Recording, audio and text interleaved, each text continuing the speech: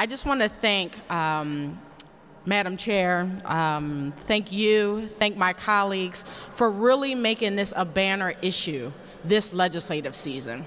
Not only have we worked over the past several months to identify some best practices across the country, to really engage our advocacy groups to make sure that we are getting it right as much as possible, but some of us and many of us have actually reached across the aisle to find common ground with some of our colleagues. So again, we can push bills that not only address the legislature, the members in this great hall, but also not also uh, Hollywood, um, making sure that it goes a little bit past that, but making sure that it will have an impact on the everyday employee, the everyday employer that we have to, that we come up here to protect, that we come up here and serve.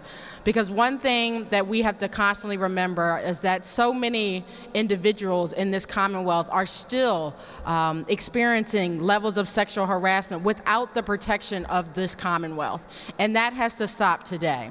But again, we have to make sure that we're doing it from the chamber, taking it from out of Hollywood, and making sure that everyday person that doesn't may not have the ability to leave their job or the ability to speak up about harassment in fear of losing their gainful employment. So I want to applaud my colleagues, applaud Madam Chair, and we really have a lot of work ahead of us. But I want to thank, again, our advocacy groups. I had an opportunity to co-sponsor a bill with Representative Kate Klunk.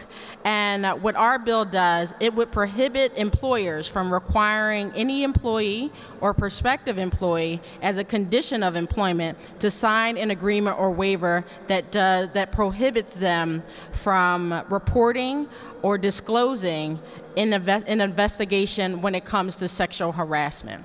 It is critical that we are not making employees sign their lives away, sign their rights away in order to be gainfully employed.